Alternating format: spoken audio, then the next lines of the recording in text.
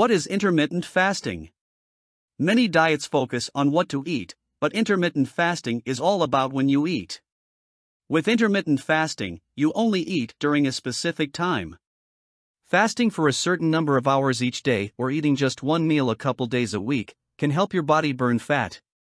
And scientific evidence points to some health benefits as well. Intermittent fasting is an eating pattern during which you refrain from consuming any calories for an extended period of time. Usually, this period lasts between 12 and 40 hours. Water, coffee, and other calorie free beverages are allowed during the fast, but no solid foods or calorie containing drinks are permitted. Johns Hopkins neuroscientist Mark Mattson has studied intermittent fasting for 25 years. He says that our bodies have evolved to be able to go without food for many hours, or even several days or longer. In prehistoric times, before humans learned to farm, they were hunters and gatherers who evolved to survive and thrive for long periods without eating. They had to. It took a lot of time and energy to hunt game and gather nuts and berries. These are some of the benefits of intermittent fasting your metabolic health might improve, you may lose weight, and your insulin levels could decrease. You will have more energy. Your mitochondria will thank you. Here's what Dr. Gundry teaches. So, the take home from this part is within reason, the longer we go in the fasted period every 24 hours, the better our mitochondria repair themselves. And the other take home is you can eat the same amount of food, live longer, have better health, as long as you compress that eating window. Now, many people ask, well, I have to have food to keep my energy level up. And in fact, the evidence is that it's exactly the opposite. Eating constantly, eating multiple small meals a day, as I show in the energy paradox, is one of the best ways to deplete your energy because it taxes your mitochondria. Are you enjoying the content? Share it with the ones you love. Look what these scientific researches have found. Several lines of evidence also support the hypothesis that eating patterns that reduce or eliminate nighttime eating and prolong nightly fasting intervals may result in sustained improvements in human health. Humans in modern societies typically consume food at least three times daily, while laboratory animals are fed ad libitum. Overconsumption of food with such eating patterns often leads to metabolic morbidities, insulin resistance, excessive accumulation of visceral fat, etc., particularly when associated with a sedentary lifestyle.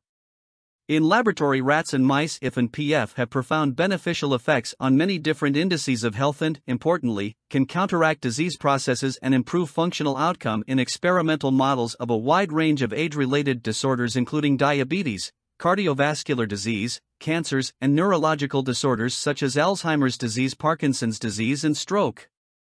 Dr. Gundry again. Okay, so the evidence in animal studies and in human studies is absolutely striking on the benefits of these periods of fasting. And let me uh, share the famous Italian athlete study that I talk about in the book. They, they took some Italian uh, cyclists and they put them on an eating program. They divided them into two groups. One group, they all ate the same amount of food. They all ate the same food. One group had a 12 hour eating window. And an eating window means this is when you start in the morning, this is when you finish in the evening, or whenever you eat. The one group of athletes had to have breakfast at 8 o'clock in the morning, lunch at 1 o'clock in the afternoon, and they had to finish dinner by 8 o'clock at night. So that's a 12 hour eating window. The other group of athletes had breakfast at 1 o'clock in the afternoon. That was their break fast. They had lunch at 4 o'clock in the afternoon, and then they had to finish dinner by 8 o'clock at night. So that was essentially a seven hour eating window. When they looked at their athletic performance, both groups had superb athletic performance. Both groups maintained muscle mass, but the compressed eating window guys, they lost weight and their insulin like growth factor, IGF 1, which is one of the best markers for longevity and health span, fell And the folks who were eating in the 12 hour window had no change in weight and no change in insulin like growth factor. Same amount of food, just compressing the eating window, had all of these benefits, including weight loss. So, we want to economize them with the following intermittent fasting plan. Don't forget that if you have any doubts or special health conditions, you need medical help to adapt the fasting to your case. Intermittent fasting may lead to feelings of hunger that make it challenging to stick with at first.